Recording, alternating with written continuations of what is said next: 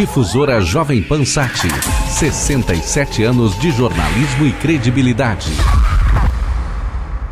Alimentação das crianças é assunto a partir de agora no nosso programa. A nutricionista Ellen Cristina Rampini está na ponta da linha para conversar com os ouvintes.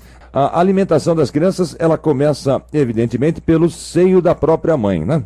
Isso mesmo. A alimentação da criança, a gente tem que construir bons hábitos desde bem pequenininho, que é quando está se formando ali os hábitos alimentares que vão para a vida toda. Sim. Então, importantíssimo, desde bebezinho, a mãe amamentar, pelo menos até um ano de idade, é bom a criança estar tá recebendo leite materno, porque é um leite que traz bastante proteção para a criança, tem bastante imunidade, deixa a criança com um desenvolvimento melhor e com, com uma capacidade de imunidade também muito melhor.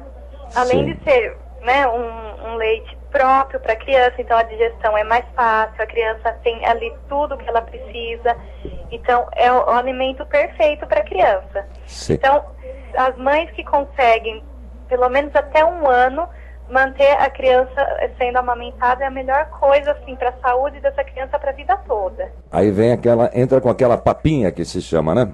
Isso, daí lá para os seis meses, cinco, seis meses, começa as frutinhas, as papinhas. Importante que essa papinha seja feita em casa, evitar aquelas papinhas industrializadas, Uhum. porque hoje em dia a gente já recebe muita alimentação industrializada. Então, se desde bebezinho a criança já recebe isso, a saúde dela não, não vai ser bacana quando ela estiver maiorzinha. Então, é, e dá para fazer as papinhas em casa, quando a gente precisa de coisa mais prática, faz um pouquinho a mais, dá para congelar, não tem problema nenhum. E Sim. é uma papinha assim que a gente consegue fazer com bastante variedade.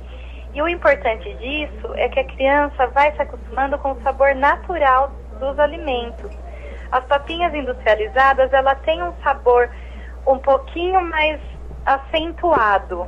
Uhum. Então, quando a criança recebe o alimento natural, ela não gosta, ela acha sem graça, porque não tem aquele sabor todo que ela está acostumada. Introduzir as frutas junto com a papinha, ela deve ser eh, ah, permanente. Isso. Normalmente se começa com as frutinhas. Porque como o bebê está acostumado com o saborzinho do leite, que é mais pro doce, então é mais fácil dele começar aceitando um alimento diferente com as frutas. Uhum. Então a frutinha, o suquinho. Importante todas as mães não colocarem açúcar nesses suquinhos. Bater a fruta natural mesmo sem adoçar. Porque a fruta, ela já tem o, o açúcar dela. A gente costuma adoçar tudo porque desde criança a gente é acostumada com coisas muito doces. Mas se a Verdade. gente acostumar com o sabor natural das coisas, a gente vai ver que não precisa adoçar muito as coisas. E quando é que a criança já pode se alimentar com a comida da família? A partir de um aninho, a criança já consegue mastigar, já consegue estar com a mesma alimentação da família.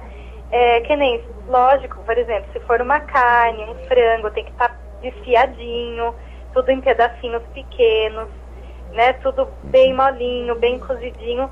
Já dá para a criança estar comendo a mesma refeição da família. Sim. A partir de um ano e meio, dois anos, também já dá para ir colocando que nem as saladas cruas, que nem folhas, tomates que são mais durinhos, mas que é bom já ir oferecendo também para as crianças. A falta de uma alimentação adequada pode comprometer o desenvolvimento e, e- e, a- e deixar a criança mais, digamos, suscetível a doenças? Pode, pode sim. O que acontece hoje em dia e que acaba confundindo muitas mães, normalmente já se começa logo cedo a oferecer bolacha, oferecer muito pão, oferecer doce, refrigerante.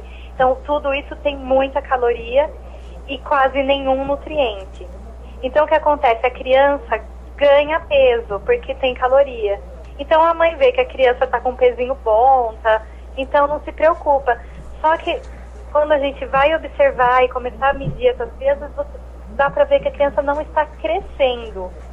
Então são alimentos que não ajudam no desenvolvimento da criança, tanto físico, ela não cresce legal, não desenvolve a parte física do jeito que deveria, e também nessa parte de imunidade, porque ela quase não recebe nutrientes importantes do sistema imunológico. Falamos com a nutricionista Ellen Cristina Rampini sobre alimentação adequada para as crianças aqui dentro do nosso programa Difusor Acontece. Difusora Jovem Pan Sat. 67 anos de jornalismo e credibilidade.